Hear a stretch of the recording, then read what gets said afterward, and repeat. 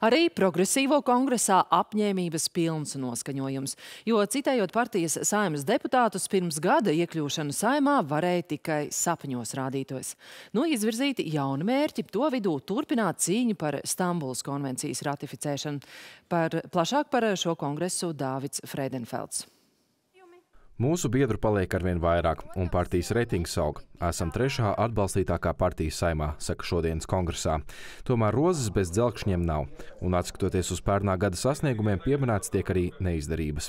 Pērnējā gadā partija saņēma 107,5 tūkstošus eiro lielu finansējumu, bet iztērēja vairāk. Parādu summa ir ap 11 tūkstošiem.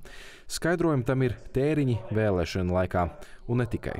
Nepietiekoša komunikācija starp grāmatvedi, pro darbiniekiem, kurš veic pašus pārskaitījumus, kā arī nav attiecīgas informācijas par to, kas notiek, ja rēķini tiek kavēti un kādas sankcijas no tā būs. Tāpat partijai nācies lemt par divu biedru atstādināšanu ētikas kodeksa pārkāpumu dēļ. Viens no viņiem partiju pameta pats, otram lika to izdarīt. Ētikas komisija vēlas, vēlas vēlreiz atgādināt visiem biedriem, ka savstarpējai cieņai ir jābūt vienmēr un visur.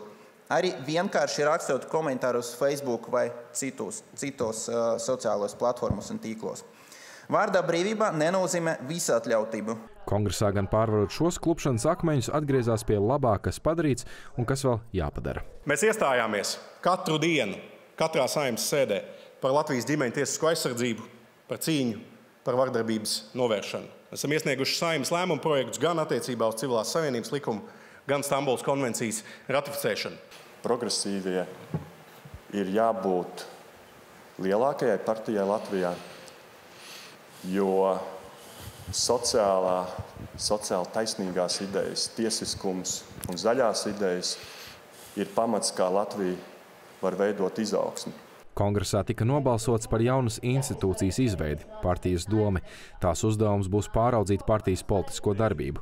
Tāpat tika nobalsots par jaunas valdes izveidi. Aptuveni puse jaunās valdes biedru ir iepriekš valdē nebijuši cilvēki, bet valdes līdzpriekšsēdētāji būs Andris Švājevs un Justīna Panteļējeva.